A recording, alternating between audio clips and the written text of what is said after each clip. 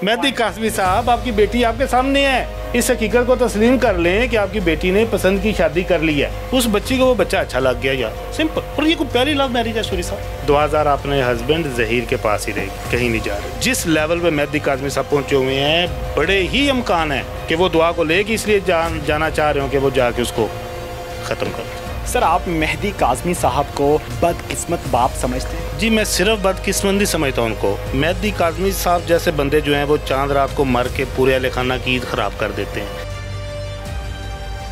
असलम जी, आप टीवी से मैं हूँ फैसल ख़ान सूरी। मेरे साथ सीनियर एडवोकेट अली हसन जाफरी साहब मौजूद हैं जो कि बताएँगे कि आज मेडिकल रिपोर्ट क्या आई है और क्या फ़ैसला हुआ है। दुआ जहरा के हक़ में आया है फ़ैसला या उसके ख़िलाफ़ आया है फ़ैसला। इतनी गर्मी में इतना गर्म फ़ैसला आ गया, ये सुनिएगा ज़रा। और बहुत अहम बातें होने जा रही है इस इंटरव्यू में। मुकम्मल वीडियो लाजमी देखिएगा जाफी साहब।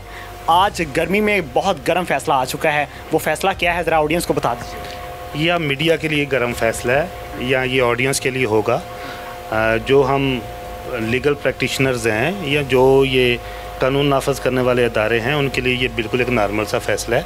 मैं सबसे पहले, क्योंकि मुख्तलिफ़ चैनल्स पे मुख्तलिफ़ खबरें चल रही हैं, मैं आपको जो उसकी एग्जैक्ट लाइंस हैं, जो कंक्लूजन है दस ग्यारह डॉक्टर्स के बोर्ड की, वो पढ़ देता हूँ। जी opinion regarding the overall age of miss Dua Zahra daughter of Syed Mehdi Kazmi is between 15 to 16 is between 15 to 16 bracket में उन्होंने 15 और 16 वो लिखा हुआ है। Years near to 15 years based on physical examination and dentition अब क्या है इसमें? पहले जो आई थी, वो क्या थी? जो अभी रिसेंटली मेडिकल हुआ था हाई कोर्ट में वो कितना सोलह से सत्रह। सोलह से सत्रह ये क्या है?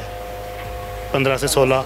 मेहदी काजमी साहब क्या अलज करते हैं क्या क्लेम करते हैं? तेरह से चौदह। आपके सामने है। कुछ कुछ गर्म नहीं है ऑडियंस बेफिक्र हो जाए दिल थाम के बैठे। दो हज़ार अपने हस्बैंड जहीर के पास ही रहेगी कहीं नहीं जा रही। पक्की बात है। मैंने सर डेढ़ माह पहले कह दिया था जिस दिन उसे मॉडल टाउन कचहरी में बयान दिया था मैंने कहा था केस ख़त्म हो गया। किसी ने नहीं माना। दरख्वास्तें दे रहे हैं अदालतों का थानों का एजेंसीज का काम क्या है जो कानून नाफिज करने वाले अदारे हैं? आप उनके पास कोई अप्लीकेशन लेके जाते हैं? उन्होंने उसको सुनना ही सुनना है।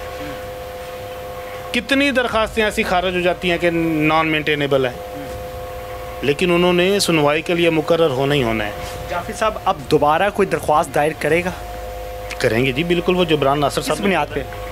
कि जी एज इसकी पंद्रह से सोलह आई है पहले सत्रह आई है ये मामला इन्होंने इतना कन्फ्यूज़ कर दिया ना। दो हाई कोर्ट्स के लोअर कोर्ट लाहौर का ये फैसला है। तीन मुआज़ अदालतें इस बारे में डिसाइड कर चुकी हैं कि दुआजारा अपने खामंद के पास रहेगी। इसका मतलब तो ये हुआ वो इस फैसले को तस्लीम नहीं कर रहे और अदालत के फैसले को तस्लीम नहीं किया जा रहा। ये अना है। फैसला तो यही है यही फैसला होता है। अना की जंग कहाँ तक जा सकती है? ये मेहदी काजमी साहब की अब ये नफ्सियात पे डिपेंड करता है कि वो कब इस चीज़ को तस्लीम कर लेंगे कि उनकी बेटी ने अपनी मर्ज़ी से शादी की है। तस्लीम कर लेना चाहिए अभी तक। जाफिर साहब, बच्चे बहुत कंफ्यूज हैं दुआ जहरा और जहीर। वो अभी भी इस वजह से कंफ्यूज हैं कि दुआ के वालिद मोहतरम अभी भी कोई एक्शन लेंगे या मुमकिन है कि दुआ को मरवा दिया जाएगा, कत्ल करवा दिया जाएगा? बहुत ज़्यादा चांसेस हैं, या आपकी दूसरी बात के। सिर्फ़ दुआ को नहीं, जहीर को भी। बड़े स्वेयर थ्रेट्स हैं। और ये थ्रेट्स पैदा किए गए हैं मेहदी काजमी साहब की तरफ़ से। वो तो कहते हैं मैं अपनी बेटी से बहुत ज़्यादा प्यार करता हूँ। एक बच्ची की ज़िंदगी ख़त्म कर दी है एक बंदे ने। कहाँ का प्यार करता है वो? दो हज़ारा को क्या बना दिया उसने? सूरी साहब आपको मैं अक्सर देखता हूँ आप बड़ी बड़ी जो है ना वो दर्द भरी और बड़ी बड़ी अच्छी स्टोरीज आप कवर करते हैं। इस स्टोरी सारी में दर्द कहाँ है? भागने का। वो पहली लड़की भागी है। दर्द है, लेकिन दर्द कहाँ है? मेहदी कासमी साहब, आपकी बेटी आपके सामने है। इस हकीकत को तस्लीम कर लें कि आपकी बेटी ने पसंद की शादी कर ली है। तीन माह हो गए हैं उसको, उसके साथ रहते हुए। आप दो हज़ारा को घर ले आएँगे तो कोई दूल्हा भी घोड़ी पे चढ़ के नहीं आ जाएगा उसको लेने। आपने मज़ाक बना दिया दो हज़ारा का पूरी दुनिया में। उस बच्ची की ज़िंदगी ख़त्म कर दी आप लोगों ने। वो निकल के अपनी पसंद की जूती नहीं ले सकती दुकान से। कल को इसके बच्चे होंगे। क्या लाइफ दे दिया तुम लोगों ने उसको? अभी उस बच्ची की लाइफ स्टार्ट भी नहीं हुई। मेहदी काजमी साहब मुझे किसी ने बताया ये बिल्कुल एक फारग से इंसान है। घर होते हैं सारा दिन। तो ये जब दिमाग फारग इंसान फारग तो फिर इसी तरह की चीज़ें वो करता रहेगा ज़िद बनाएगा। डिप्रेशन के मरीज़ हैं। डिप्रेशन के मरीज़ हैं। वो ज़िद बनाई हुई है वो चल रहा है। किसी बड़े ए, मेरे कराची में एक दोस्त होते हैं उन्होंने मुझे बताया कि ये जो दुआ ज़ारा के ननियाल है वो सपोर्ट करते हैं इनको फाइनेंशियली अच्छा। यस दुआ का मेहदी काजमी साहब कुछ भी नहीं करते। आज तक सामने तो नहीं कुछ आया कि मेहदी काजमी साहब कोई उनकी दुकान है या उनका कोई दफ्तर है। वेला कहा जा रहा है कि चलें मान लिया कि बाप जुल्म करता था तशद करता था मारता था बच्ची को लेकिन माँ तो प्यार करती थी ना माँ से क्यों नहीं मिलती दुआ? नहीं बाप भी जुल्म नहीं करता होगा माँ भी जुल्म नहीं करती होगी। देखो यार हम इंसान है ना हर इंसान की अपनी सोच और अपनी जहनीत है। जितनी भी आबादी है हमारी उस बच्ची को वो बच्चा अच्छा लग गया यार। सिंपल और ये कोई पहली लव मैरिज है सूरी साहब? बिल्कुल नहीं। हज़ारों ऐसी शादियाँ सैकड़ों रोज़ होती हैं। बड़े दुख वाली बात होती है बड़ी तकलीफ़ वाली बात होती है। सर आप मेहदी काजमी साहब को बदकिस्मत बाप समझते हैं। जी मैं सिर्फ़ बदकिस्मत समझता उनको। मेहदी काजमी साहब जैसे बंदे जो हैं वो चाँद रात को मर के पूरे अहल खाना की ईद ख़राब कर देते हैं। ये इस तरह के बंदे हैं। बस कर दो यार। अब लोगों यकीन मानो कि अब तुम्हें गालियाँ पड़नी है। तुम जो हमदर्दियाँ काजमी साहब आपने समेटी थी वो ख़त्म हो रही हैं अब। सर उम्मीद नज़र आती है कि बेटी वापस जाएगी अपने बाप के पास? कोई उम्मीद नहीं। बेटी खुद जाएगी बाप बाप बन के बेटी को लाएगा तो लाएगा लड़ के बेटी को नहीं ले जा सकता। अगर बेटी ने जहीर को बाप बना दिया फिर भी तस्लीम नहीं करेंगे? मेरा ख्याल है कि वो मे भी हो भी सकता है तीन माह हो गए। मुझे तो एक आपके ही भाई हैं जिन्होंने दूसरा या तीसरा इंटरव्यू किया था दौर जेर का।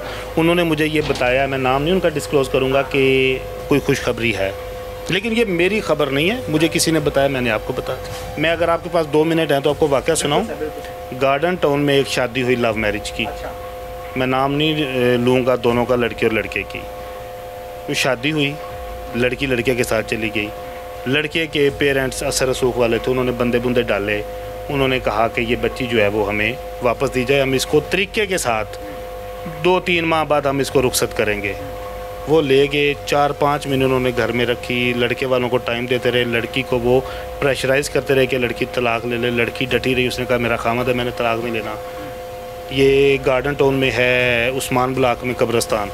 सताईस कुल्हाड़े के वार करके उस लड़की को कत्ल कर दिया उसके बाप ने। इस वक्त जेल में है। बहुत से लोग इस केस से, ये बड़ा मशहूर केस हुआ था। हर चैनल ने कवर किया था। सिटी फोर्टी टू पर बड़ा डिटेल में ये चला था। सर जी, लड़कियाँ जो घर से एक दफ़ा भाग के आ जाती हैं, सिर्फ़ उनको बाहर से डर नहीं होता। उनको घर से भी डर होता है। और जिस लेवल पे मेहदी काजमी साहब पहुँचे हुए हैं, बड़े ही अमकान हैं।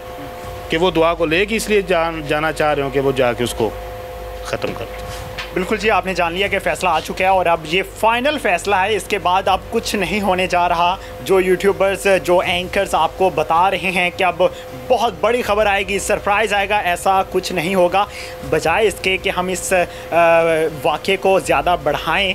बजाय इसके कि हम बच्ची को डिप्रेशन में और घसीटें इसको कंट्रोल करें थोड़ा सा मैं हुकूमत से अपील करता हूँ अपने जजेस हजरात से अपील करता हूँ कि इस आ, मामले को थोड़ा सा कंट्रोल करवाएँ क्योंकि यूट्यूबर्स इतना इंतहा तक पहुँच चुके हैं कि बच्ची को गालम ग्लोज किया जाता है जहीर को गालम ग्लोज किया जाता है। मैंने खुद बहुत से इंटरव्यूज़ किए हैं जिसके नीचे मैंने पोस्ट में जब कमेंट्स पढ़ता हूँ तो इतनी गंदी गंदी गालियाँ दी जाती हैं कि बंदा कोई भी हो जितना मर्ज़ी बहादुर हो लेकिन वो डिप्रेशन में ज़रूर जाता है, जितना मर्ज़ी वो मोटिवेशनल हो, लेकिन वो डिप्रेशन में ज़रूर चला जाता है, क्योंकि आप इतने गंदे अल्फाज इस्तेमाल करते हैं कि कोई भी शख्स डिप्रेशन में जा सकता है और डिप्रेशन से मौत वाक़ हो सकती है। अगर बच्चे की मौत हो जाती है तो बाद में सोशल मीडिया पर आके ये ना बयान कीजिएगा कि हाँ हमसे गलती हो गई, हमें मुआफ़ कर देना दुआ। दुआ जाके अपने रब से ये पूछेगी कि रब, क्या मैंने गलत किया था कि मैंने अपने हकूक़ खुद लिए थे? इस कौम से, लेकिन मेरी कौम ने मुझे मौत की तरफ़ घसीट दिया। फिर बाद में अफसोस ना कीजिएगा, और अफसोस करना आपका बनता भी नहीं है। इस जंग को यहीं पे ख़त्म कीजिए। इस जंग को फ़िरका वारियत की जंग ना बनाइए। हम मुसलमान हैं। मुसलमान, हर मुसलमान को हक है कि वो अपनी ज़ात के लिए फ़ैसला कर सकते हैं, अगर वो बालिग है। इसी के साथ मुझे दीजिए इजाज़त। रहम कीजिए इस कौम पर अल्लाह ने